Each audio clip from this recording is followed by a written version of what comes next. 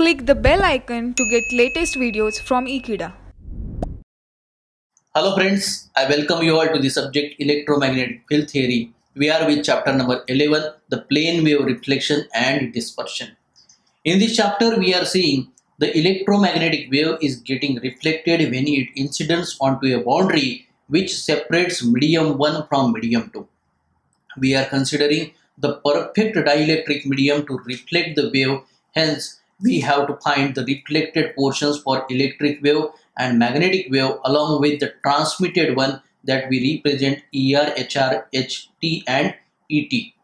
So based on to this one we have solved with two problems. So again take one more problem to finish up this concept where we require the representations of these reflected and transmitted ones as a function of time.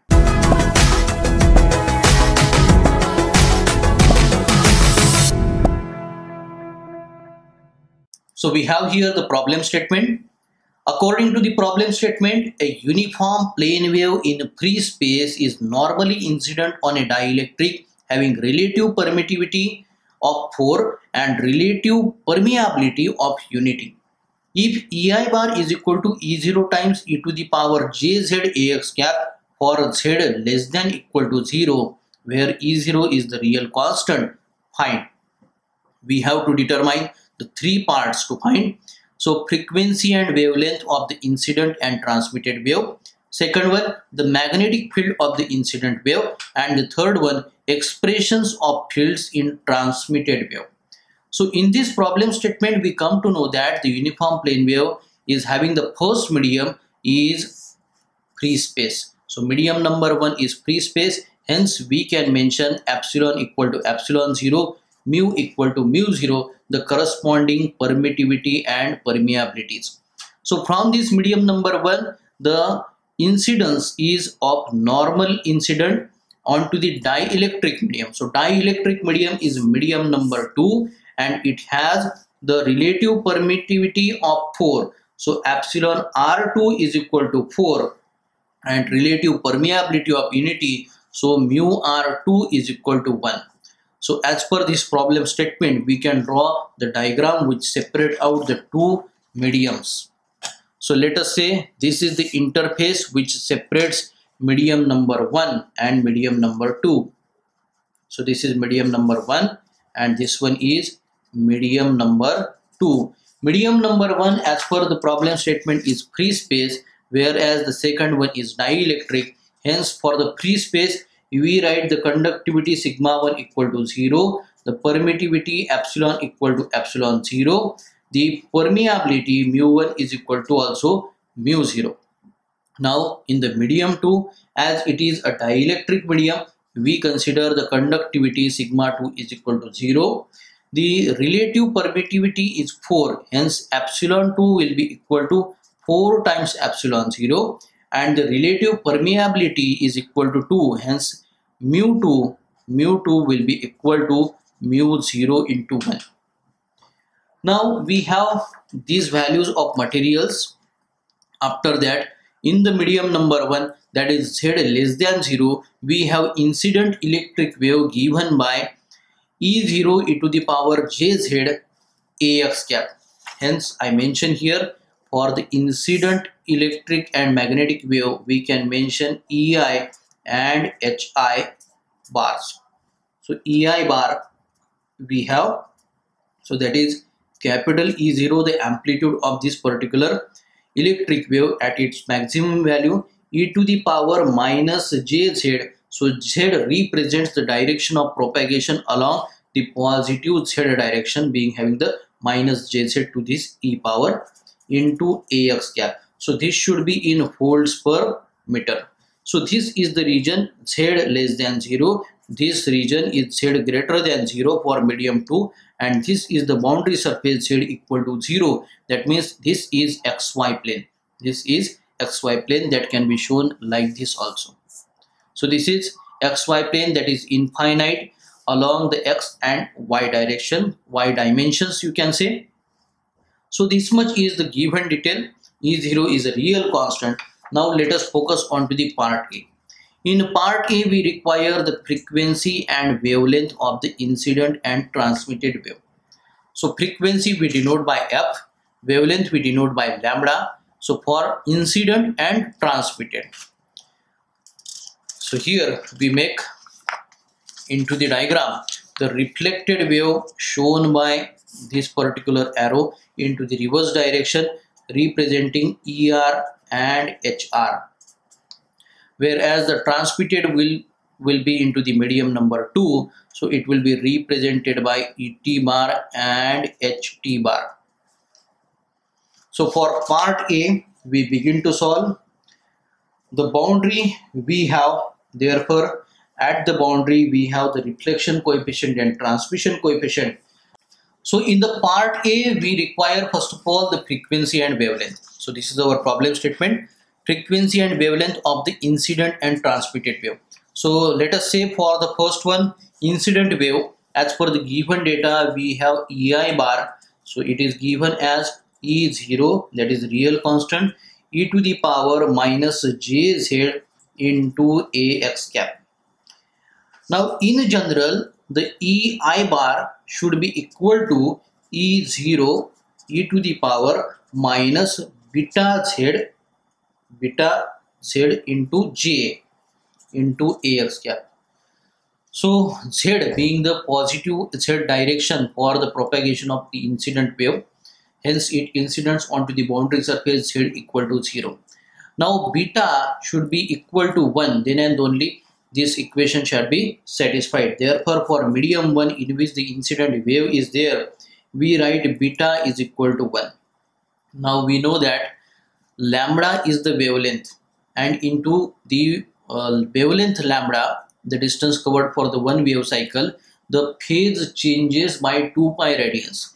Beta is the phase shift constant. Hence we have the formula lambda is equal to 2 pi divided by beta so if we substitute beta is equal to 1 we simply obtained lambda is equal to simply lambda is equal to 2 pi meters. 2 pi meters. So I shall write it here. Lambda equal to 2 pi meters here. Now we require frequency and wavelength. So for obtaining the frequency we have the relation between the velocity, frequency and wavelength. It is given by velocity of propagation divided by the wavelength lambda. Now what is the velocity of propagation into medium 1? As per the given problem statement, the medium 1 is a free space. See the uniform plane wave in the free space. Hence for the free space, V is given by 1 upon under root mu 0 epsilon 0 upon lambda we can say so this value we know that it is 3 into 10 raised to power 8 meter per second for the free space for velocity and lambda just now we have written it is equal to 2 pi. So this gives us the frequency value. So frequency value we can say 47.75 into 10 raised to power 6 and simply we can mention the frequency. Frequency f is 47.75 megahertz. Now frequency we have and we have the wavelength also that is for the incident wave that is for the incident wave. Now in the second part we require the magnetic field of the incident wave magnetic field of the incident wave. So to obtain that we take the help from intrinsic impedance. For magnetic wave we have the relation that is E upon H is nothing but the intrinsic impedance. The medium one to be the free space, we write the intrinsic impedance is equal to eta 0.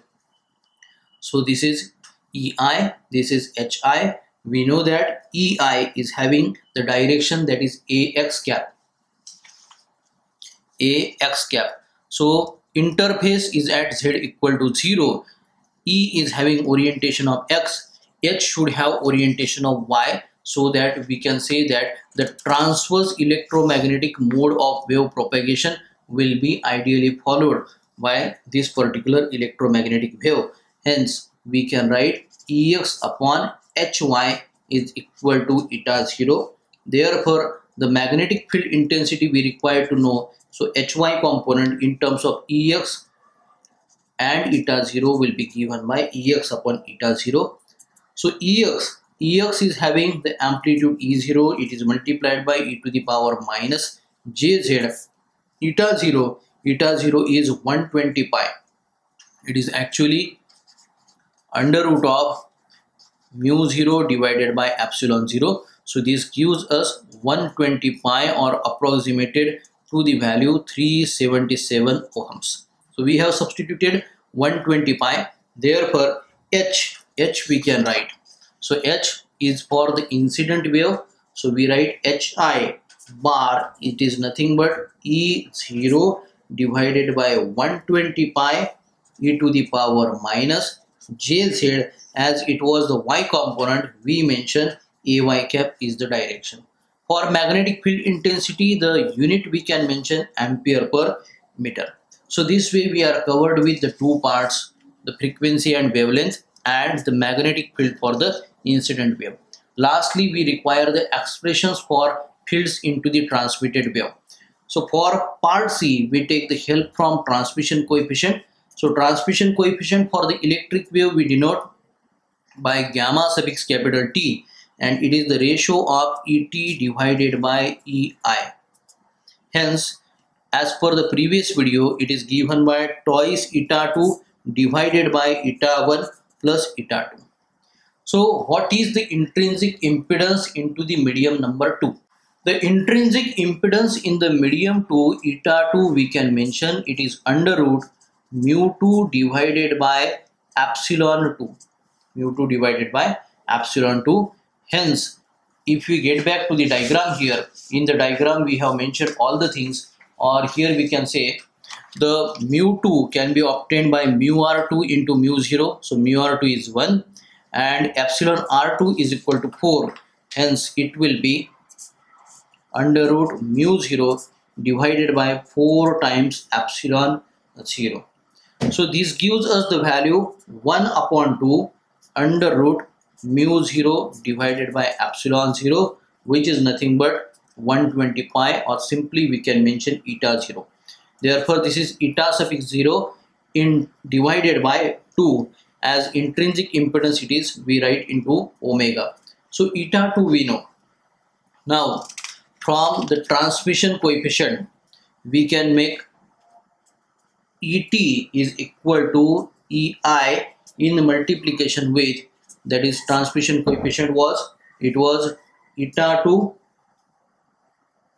divided by eta 1 plus eta 2 so this was twice here so substituting the values ei will be already there in multiplication with it will be twice into eta 0 divided by 2 divided by it will be eta 0 for the free space and this will be eta 0 divided by 2. So finally we obtained 0.666 eta suffix i sorry capital E suffix i. So this is ET. This is ET. Now the transmitted electric wave as it was initially having the AX component therefore AX cap will be the direction the direction of the incident electric wave and that of the transmitted electric wave from the boundary condition will be the same. We know that E tan 1 is equal to E tan 2. E tan 1 equal to E tan 2 at the boundary which separates the medium. Therefore, we mention ET bar is equal to 0.666 into E0 e to the power minus J into Z into AX cap.